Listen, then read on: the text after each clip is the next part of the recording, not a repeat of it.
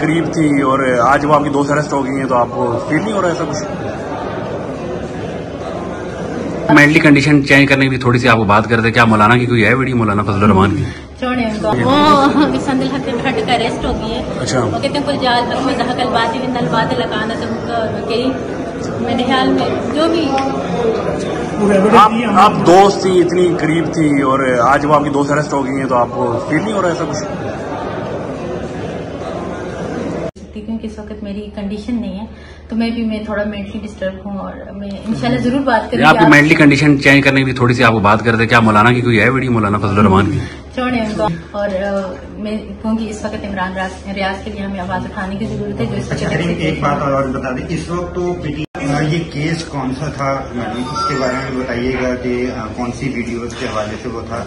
और आज जो फैसला हुआ उसके ऊपर बता दें। दूसरा ये कि आपके मुखालफी मजीद भी वीडियोज़ की बात कर रहे हैं। फैजुल हसन चौहान के नाम से आपका अटैच किया जा रहा है। उसमें कितनी सदाकत है, वो भी बताइएगा।